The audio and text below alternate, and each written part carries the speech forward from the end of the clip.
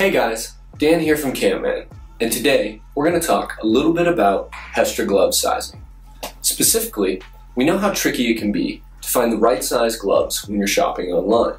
So, we're going to go over a few tips and tricks that you can use at home to make sure that you get the right size gloves the first time you buy.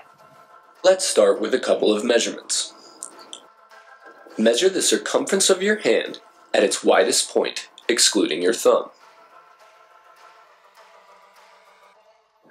Measure from the base of your palm, where it meets your wrist, to the tip of your middle finger.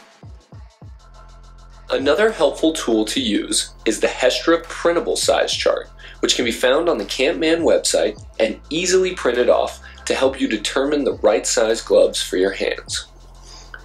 Using all three of these measurements is a great way to make sure that you get the right size the first time, but sizing is not completely uniform across all of Hestra's models. To clarify the major differences in glove sizes, we categorize Hestra glove sizes into two major categories gauntlet style gloves and short cuff style gloves.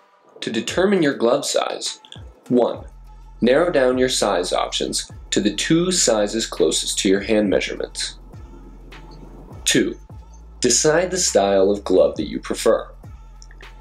If the style is a short cuff design, like the fall line glove, Army Leather Patrol Glove, or one of Hestra's dress gloves, and is a 5 finger or 3 finger option, opt for the larger of the two sizes. If it is a mitten, decide whether you like a loose fit or a tight fit and choose accordingly.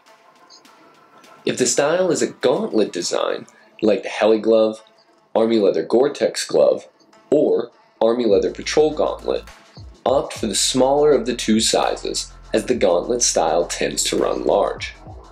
This is a good general rule for men's gloves, women's gloves, and kids' gloves, but it is only a rule of thumb.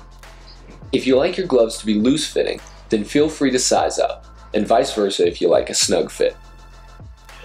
It's important to remember that this is just a general guide to glove sizing, and there's nothing better than getting your hands in some Hestra gloves or mittens in order to make sure you have the best size. That'll wrap it up for today's video. But if you have any questions, feel free to visit us at campman.com, give us a call, or shoot us an email. We'd love to hear from you.